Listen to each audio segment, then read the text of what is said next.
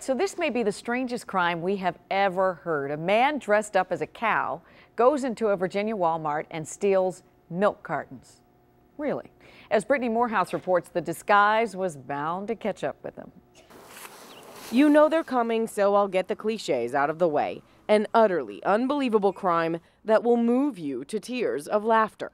It's one you've never heard of before, and now the media is having a field day. Have the police been out to interview you? We got a lot of interest from this, obviously. The crime of interest starts Tuesday night with a shoplifting call from Walmart. The suspect description? A cow. We decided to go in the store and steal 26 gallons of milk.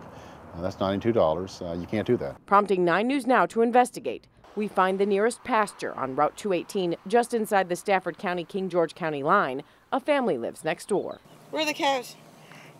They're gone. They're gone? Yeah. They run away? I have to find them. Over there? They say they have their suspicions. Yeah, there's a white-faced cow out there. Yeah, I, I see that one out there causing trouble. They also believe their dog Tebow may be a reliable witness. Tell me what's going on. Yeah. What happened Tuesday night? Which cow was it? Can you show me?